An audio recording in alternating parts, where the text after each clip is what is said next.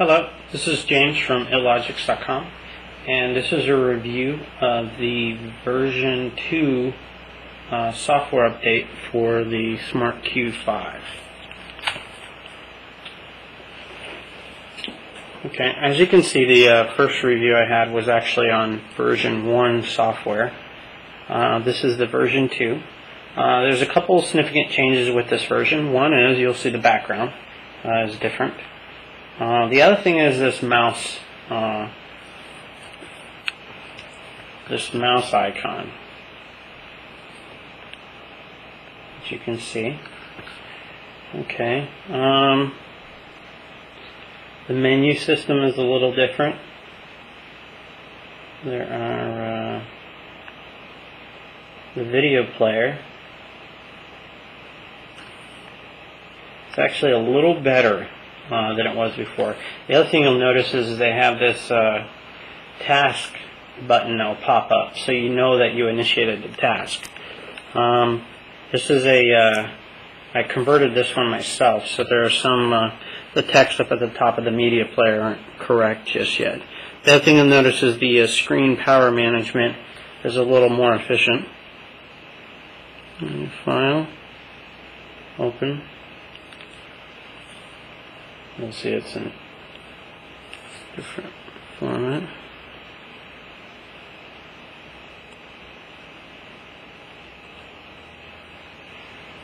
Close that. And open.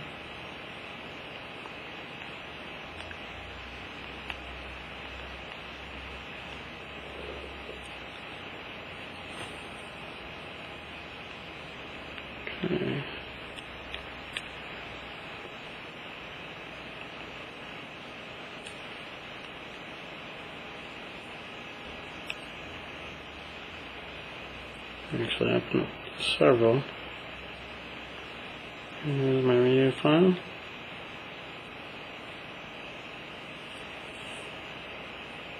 Hello, this is Hello, this is James from Ill-logix.com, and I'm We expand it out. the Smart Q5 um, internet device. Now this is a 640 by 480, uh, 1.1 megabit per second uh, video. Um, so it's kind of kind of hardware intensive.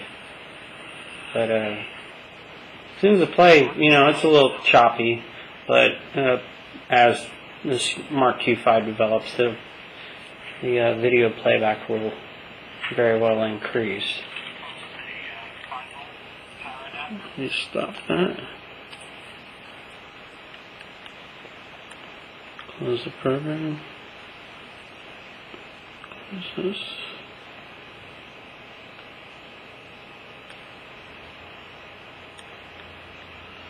I haven't figured out a uh, an English conversion yet for the uh, SM player, but uh, as you can see, the uh, the menu structure is different. Let me open up a web browser so you can see the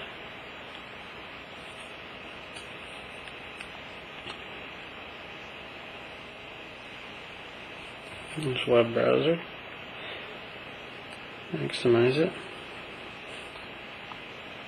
This is the manufacturer's website um, where you can find updates and whatnot.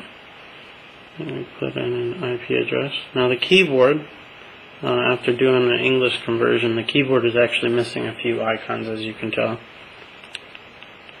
Thanks,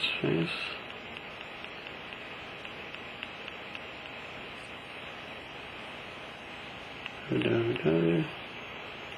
Uh, Google.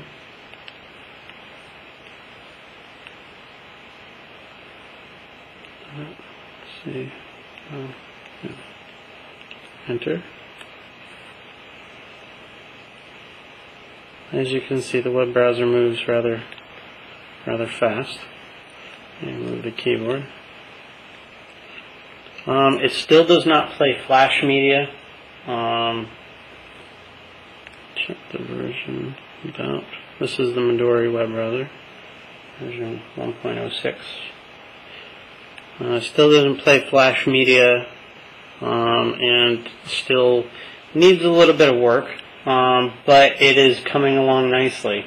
Uh, one thing you'll notice is the shadowing.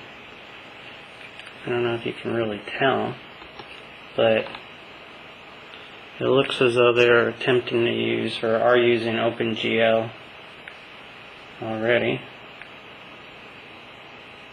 Put it over here.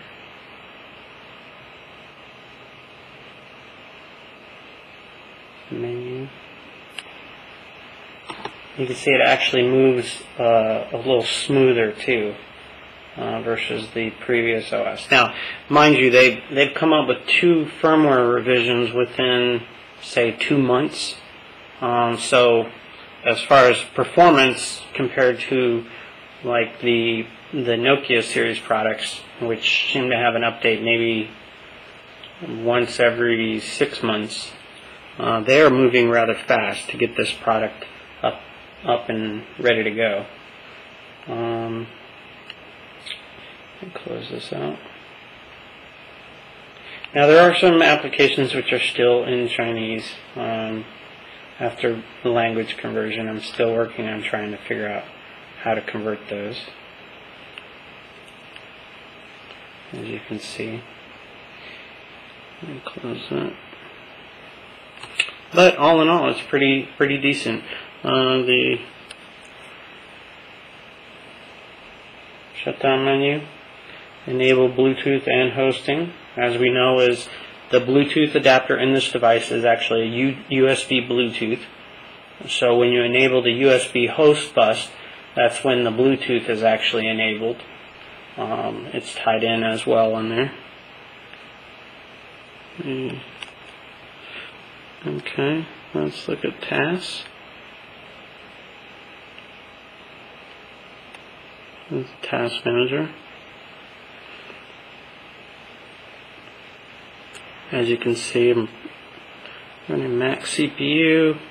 Memory is decent, uh, depending on the application it's running. Uh, I have yet to do some updates for it, so it's still a work in progress, but it is definitely coming along nicely. Close. Okay. And as you can see, the uh, this is screen calibration. It's still in Chinese as well.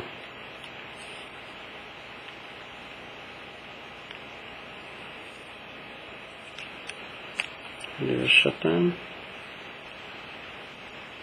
And quit. Oh, sorry. Power. Click yes.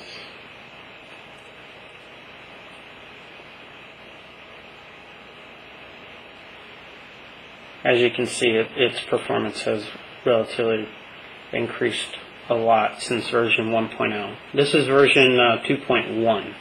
Uh, I was using 2.0 previously.